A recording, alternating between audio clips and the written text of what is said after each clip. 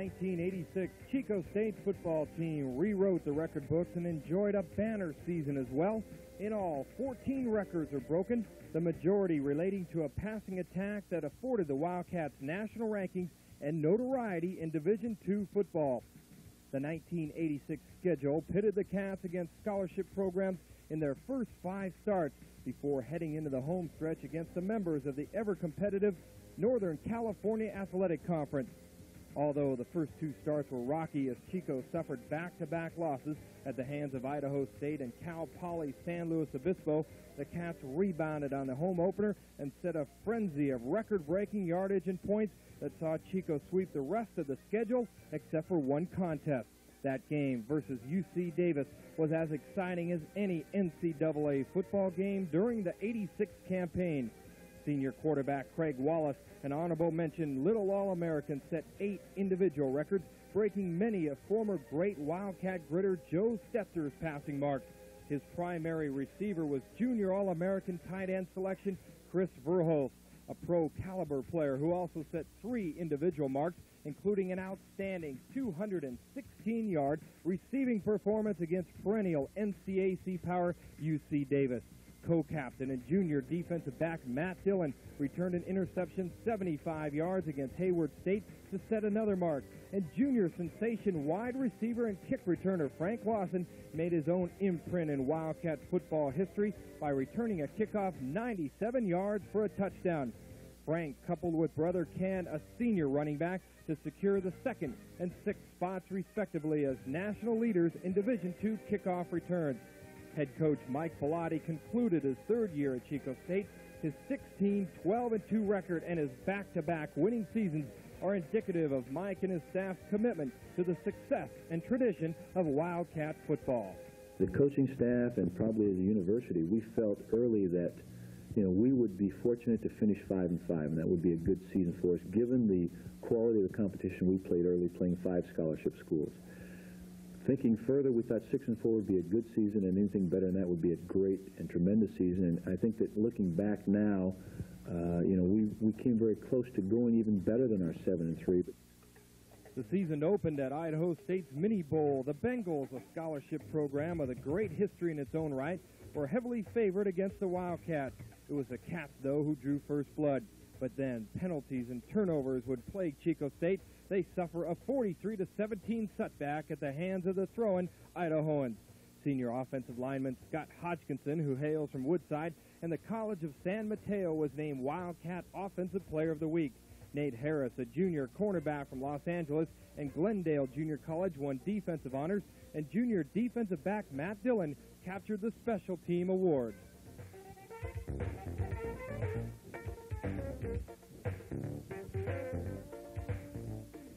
Cats now 0-1 and searching for their first victory face their second opponent and second scholarship program as well as they trek south to take on Cal Poly San Luis Obispo on their home turf. After falling behind 17 to 6 in the first half, the Cats rebounded to within 8 points in a 26 to 18 losing effort. Quarterback Craig Wallace had an impressive day despite a slow start. Again, turnovers appeared to be the Cats' Achilles heel as they gave up five of six fumbles. Wallace, a native of Pebble Beach, completed 24 of 41 attempts and ran up 347 yards on offense, mostly in the second half to secure Offensive Player of the Week honors. Senior defensive end Mike Layfield, a local talent from Yuba City and Butte College, was a standout performer and was recognized for his exemplary play by being selected as the NCAC Player of the Week, as well as the Wildcat Defensive Player of the Week. Senior running back Kenny Lawson, a transfer from Oregon State, showed why he was nationally ranked by returning four kickoffs for a 32-yard average, enough to get himself Special Teams Player of the Week honors.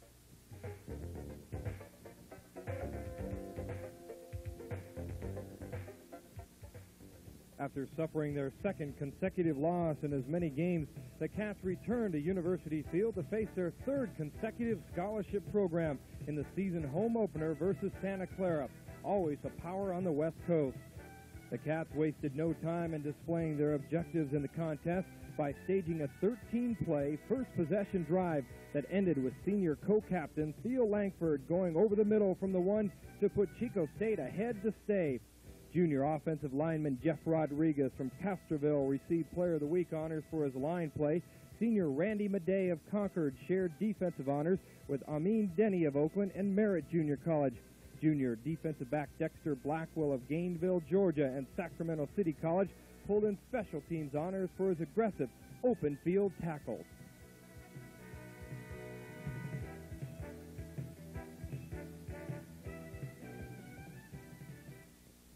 Chico State now entering week four with a 1 and 2 record face St. Mary's with the Cats holding the home field advantage. After a slow start for both teams that saw them retire to the locker room in a 3-3 tie, the Cats would come back with their guns blazing and the sharpshooter was none other than quarterback Craig Wallace. His 22 of 32 passes for 235 yards and three scores lauded him as the NCAC Player of the Week.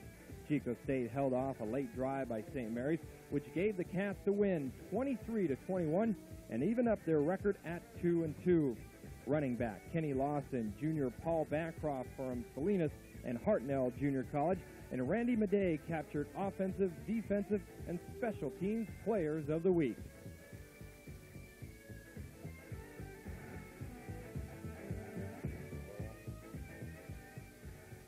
Although no longer a member of the NCAC since moving to a scholarship program, Sac State has long been a respected and dangerous rival which frequently waged a seesaw battle with the Cats year in and year out. Always a physical game in the past, this was to be no exception. Statistically, the game's numbers were virtually mirror images, but the basic difference was that Chico State ended every quarter in the lead and ultimately winning the game 44 to 38. Wallace completed 25 of 45 attempts for three touchdowns and picked apart the Sac State secondary, sharing the wealth with a multitude of receivers.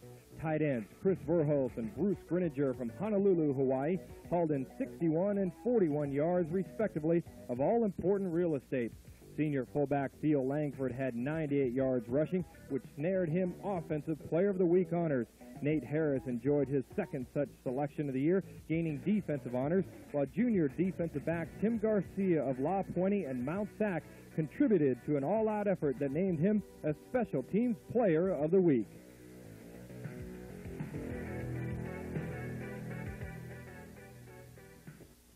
The Wildcats, coming off a big win against Sac State, set their sights on UC Davis before a packed crowd at Toomey Field. The Aggies draw first blood but fail on the conversion, putting them up by six.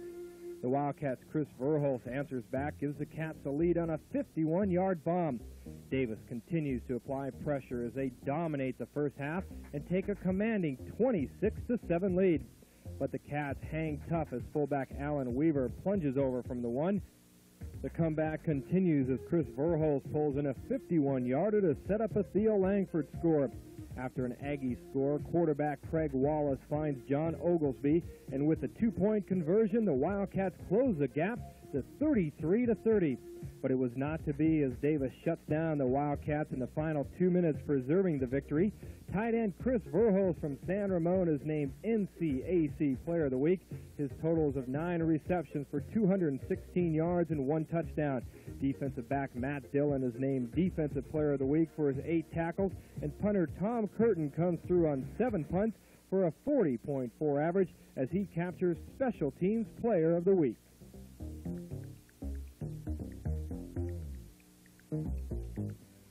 Chico traveled to the coast to take on the Humboldt Lumberjacks in quest of the axe, an age-old tradition between the two schools. After dropping a heartbreaker the week before against UC Davis, the Cats were anxious to get back in form, and they did so by completely dominating the Lumberjacks in every phase of the game that culminated in a 42 0 shellacking of the Lumberjacks. Eight of Chico State's receivers were in double figures, as were five of the running backs. Running back John Oglesby was named Offensive Player of the Week. Mike Layfield was named Defensive, and Mitch Mariani captured Special Team honors.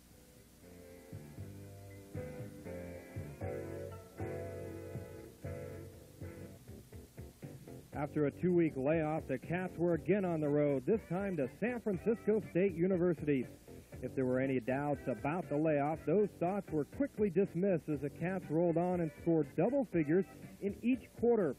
When the smoke cleared, it was Chico State 48 and San Francisco State nothing. It was the Cats' second shutout in as many weeks.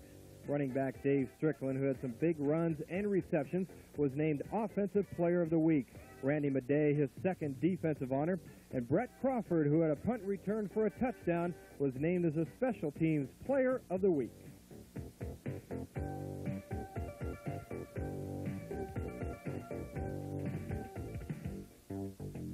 The Cats return home for their final homestand, bringing their 5 and 3 record into University Stadium against Hayward State. Neither team could produce much offense in the first half as the Cats had the only score. In the second half, the Cats' Matt Dillon once again was Johnny on the spot by scooping up a fumble on Hayward's 12. Wallace then connects with wide receiver Frank Lawson for a 57-yard score that sets the stage for the romp over the Pioneers. The Cats scored 20 points in each of the remaining quarters. Running back David Strickland and fullback Mitch Mariani both scored in the fourth quarter. The final, Cats 47, Pioneers 21. Frank Lawson won offensive honors while Dave Schroeder was named Defensive Player of the Week. Matt Dillon was named NCAC Conference Player of the Week, Northern California College Division Player of the Week, as well as Special Teams Player of the Week for Chico State.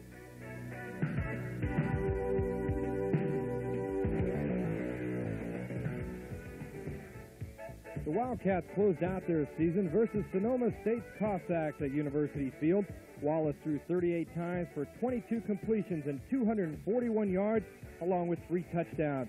Tight ends Bruce Grinninger and Chris Verhulst contributed 65 and 90 yards, respectively, and Dave Strickland ran up 68 yards rushing on just 13 attempts.